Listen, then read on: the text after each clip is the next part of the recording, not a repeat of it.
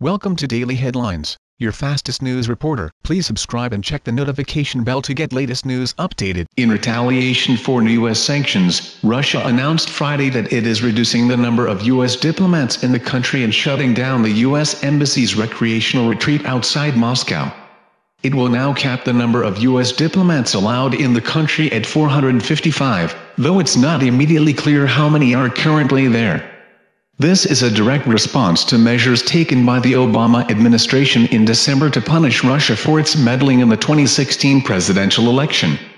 That decision expelled 35 Russian diplomats and shut down two recreational compounds knee on the eastern shore of Maryland and one on Long Island, New York at were allegedly used for espionage activities.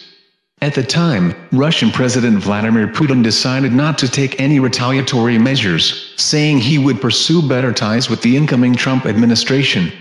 Trump, naturally, immediately praised that decision, tweeting on December 29, Great move on delay by V. Putin I always knew he was very smart.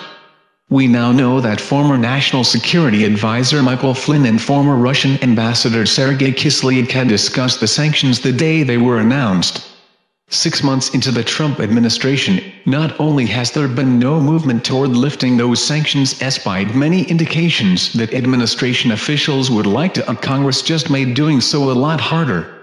Congress has overwhelmingly passed a Bill 19-3 in the House, 98-2 in the Senate had codifies as law Obama's executive orders sanctioning Russia and constrains Trump's ability to lift sanctions without congressional approval. Evidently, about the only thing that has wide bipartisan support on Capitol Hill right now is the notion that Trump can't be trusted to cut deals with the Russians.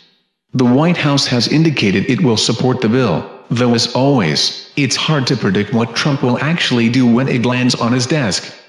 Russia, however, seems to have run out of patience with Trump. The mostly accurate line in Moscow now seems to be that because of the Russia investigation and U.S. domestic politics, Trump is powerless to deal with Russia the way he'd like to. What we are seeing in the US is merely anti-Russia hysteria, Putin told CNN this week in Finland, adding, It is a great pity that Russian-American relations are being sacrificed to this domestic, internal American issue. Another Russian official told NBC's Richard Engel that they view Trump as a prisoner in the White House. Whatever role the Russian government played in helping Trump's campaign, this certainly wasn't what it had in mind.